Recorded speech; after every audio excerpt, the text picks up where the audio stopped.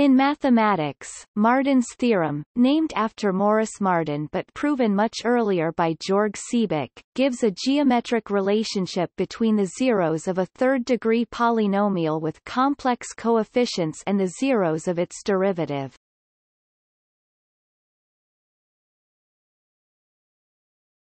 Topic. Statement of the theorem A cubic polynomial has three zeros in the complex number plane, which in general form a triangle, and the Gauss-Lucas theorem states that the roots of its derivative lie within this triangle. Marden's theorem states their location within this triangle more precisely. Suppose the zeros z1, z2, and z3 of a third-degree polynomial p z are non-collinear.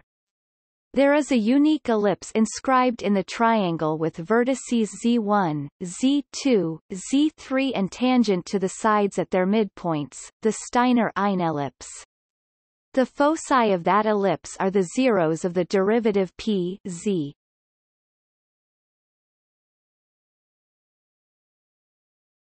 Topic. Additional relations between root locations and the Steiner inellipse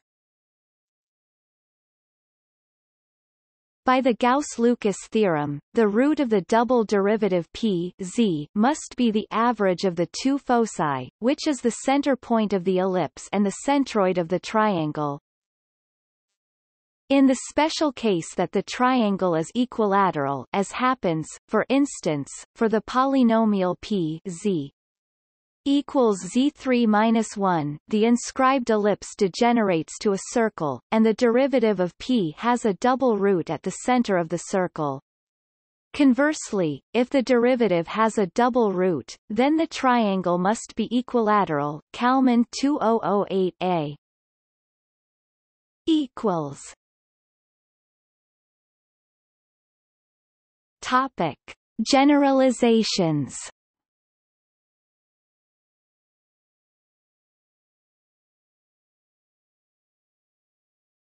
Topic. A more general version of the theorem, due to Linfield 1920, applies to polynomials p z z minus a i z minus b j z minus c k whose degree i plus j plus k may be higher than three, but that have only three roots a, b, and c.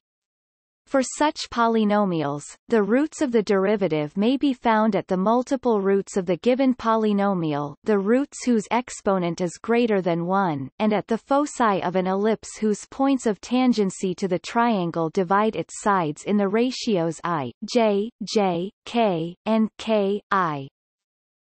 Another generalization, Parish 2006, is to n-gons. Some n-gons have an interior ellipse that is tangent to each side at the side's midpoint. Marden's theorem still applies, the foci of this midpoint tangent ellipse are zeros of the derivative of the polynomial whose zeros are the vertices of the n-gon.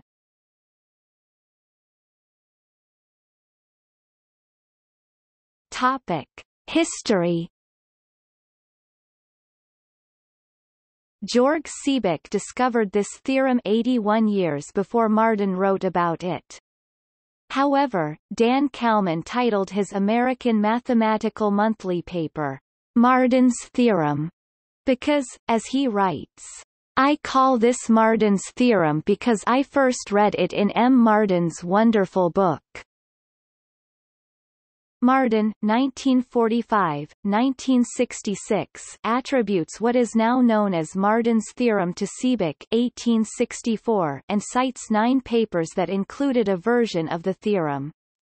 Dan Kalman won the 2009 Lester R. Ford Award of the Mathematical Association of America for his 2008 paper in the American Mathematical Monthly describing the theorem. A short and elementary proof of Marden's theorem is explained in the solution of an exercise in Fritz Carlson's book, Geometry, in Swedish, 1943.